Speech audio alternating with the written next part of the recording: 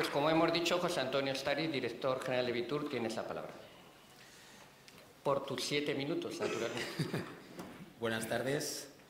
Eh, bueno, eh, mi nombre es José Antonio Stariz, eh, tengo 47 años y soy ingeniero industrial por la Universidad de Zaragoza. Quería nombrar esto pues porque dijésemos que es muy importante que la industria aragonesa también esté formada por aragoneses. Durante estos 20 años, en mi experiencia laboral, he tenido la suerte de trabajar en diferentes sectores de la industria aragonesa, y combinado con estancias en China y en Alemania, y perdón, actualmente soy el director general de Bitur España. Soy una empresa que nos dedicamos a la fabricación de elementos eh, de componentes para el ascensor. Estamos ubicados en el polígono de Malpica y damos trabajo a unas 380 personas. Bueno, yo presento aquí otros datos que no coinciden con los que decía la consejera o con los que decía Ramón. Lo que pasa es que yo no incluía aquí la parte de, energía. ¿no? Entonces, yo quería así mm, mostrar la relevancia que tiene la, industria, la economía aragonesa, ya que somos un motor de esta economía, porque además damos trabajo a aproximadamente casi el 20% de la población ocupada. Además, yo creo que la industria eh, es un elemento coexionador porque allí donde estamos fijamos el territorio, eh, perdón, fijamos la población al territorio. Bueno, a la hora de hablar de los retos eh, y del futuro de la industria aragonesa, yo he querido elegir en estos siete minutos cuatro puntos. Uno de ellos es la mejora de la productividad, reducción de costes.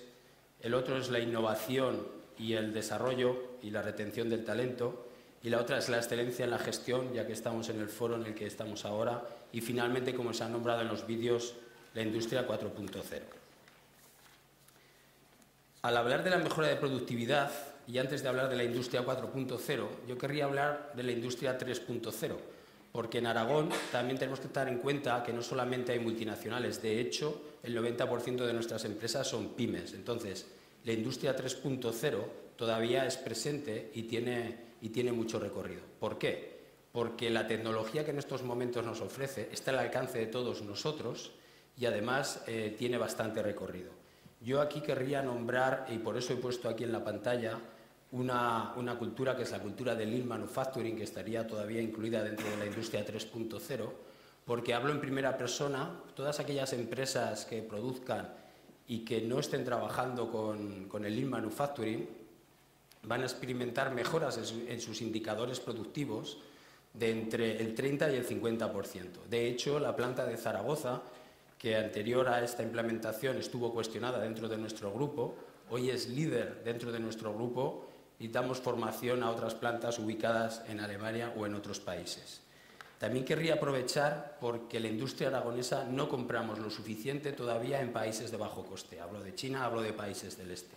Quizá también esté relacionado con el pequeño tamaño de nuestras empresas y aquí es donde las organizaciones y los gobiernos locales nos pueden ayudar a las pequeñas y medianas empresas a comprar más en estos países. El otro punto que he elegido es la innovación. Aquí cuando hablamos de innovación no hablamos solamente de innovación en el producto, hablamos también de innovación en los procesos. Lo que es muy importante para los directivos y para las empresas es que seamos capaces de reconocer ese talento y de traerlo. Y aquí quiero hablar una experiencia propia de la empresa nuestra en Bitur en el año 2012, en plena crisis, y después de agotar todas las posibles herramientas de la reforma laboral, nos vemos abocados ya a tomar una decisión que era la de eh, despedir personal, pero hablamos de despedir personal, dijésemos, de donde toca hueso, es decir, con know-how y conocimiento de la empresa. Finalmente eh, conseguimos eh, darle la vuelta a esta situación, un acuerdo entre plantilla y dirección, y estas personas se mantienen en la empresa. Dos años más tarde, en el año 2014, viene la oportunidad, tenemos el know-how y conseguimos lanzar un proyecto y un nuevo proceso productivo que en el año 2016, que es en el que estamos ahora, está dando trabajo a más de 300 personas en el grupo, 100 de ellas nuevas contrataciones en la planta que tenemos en el polígono de Malpica, lo cual es un claro ejemplo de la apuesta por el talento y por el know-how para su retención.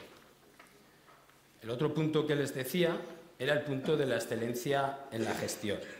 Yo creo que aquí las empresas de Aragón no tenemos excusa si no tenemos implementado un sistema de excelencia en la gestión, porque con el empeño que pone el Instituto Aragonés de Fomento, con Ramón y con Jesús es imposible no tenerlo. Pero es que además eh, nosotros, que fuimos la primera empresa galardonada hace 20 años y que todavía estamos aquí, eh, es un elemento que te ayuda a la sostenibilidad del negocio, dándote el control que es necesario, sobre todo para mantener buenos resultados financieros.